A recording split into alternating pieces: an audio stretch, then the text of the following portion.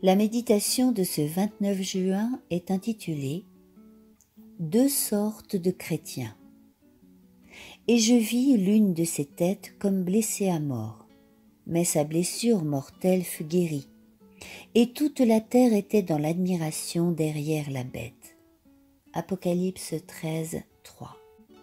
Les États-Unis ne seront pas les seuls à rendre hommage à la papauté l'influence de Rome sur les pays qui reconnurent une fois sa domination est loin d'être détruite. Lors du dernier conflit, le sabbat sera le point particulier de la controverse dans toute la chrétienté. Les dirigeants politiques et religieux s'uniront pour imposer l'observation du dimanche, et les mesures les plus légères n'ayant aucun effet des lois extrêmement oppressives seront promulguées. On insistera sur le fait que le petit nombre s'opposant à une institution de l'Église et à la loi du pays ne peut être toléré. Le romanisme dans le vieux monde et le protestantisme apostat dans le nouveau suivront une conduite similaire envers ceux qui honorent les préceptes divins. Le monde soi-disant chrétien sera le théâtre de décisions importantes.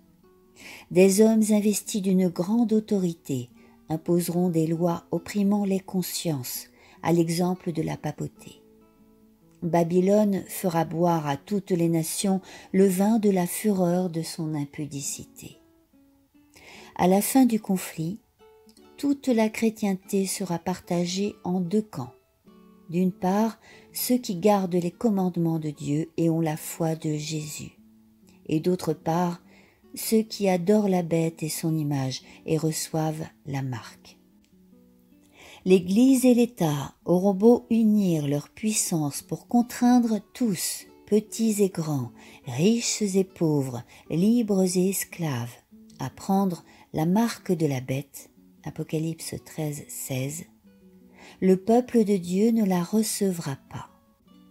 Le prophète de Patmos, Jean, voit ceux qui avaient vaincu la bête et son image, et le nombre de son nom, debout sur la mer de verre, ayant des harpes de Dieu.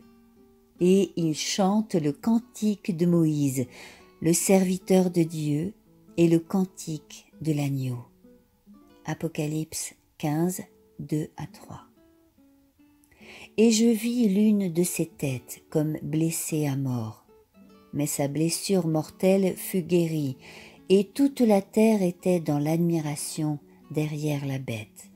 Apocalypse 13, 3. Amen. Si tu as apprécié cette méditation, n'hésite pas à liker le petit pouce qui pointe vers le ciel et à partager